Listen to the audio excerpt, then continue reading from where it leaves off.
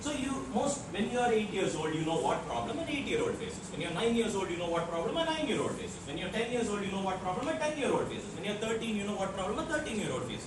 When you're fifteen, you know what problem a fifteen-year-old faces. When you're sixteen, you know what problem a sixteen-year-old faces. However, unfortunately, something like this. I never knew. Nobody told me that if you don't study history today, later on in life, when you're in a group setting, when people are talking about history, you'll have nothing to say. Nobody told me that. Or nobody made me understand that. And it's impossible.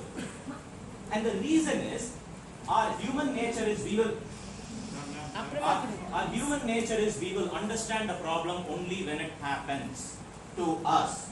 Unfortunately, and our ancestors realized that there is a way by which we can teach everybody all the problems, all the challenges much ahead of time through one story.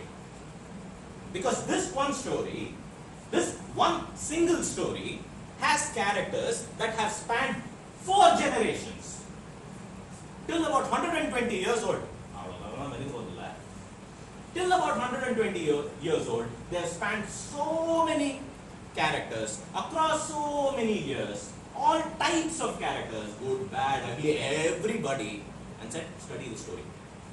And by virtue of studying the story, and by virtue of studying the story, we would create a connection with each of these characters, live their life, and when the day comes, when we are in the dilemma, you have grown up and you have a choice. You have a problem, and that problem says, Oh my God, I have to do something about it. Can I do something constructive, or can I start drinking and kill my life?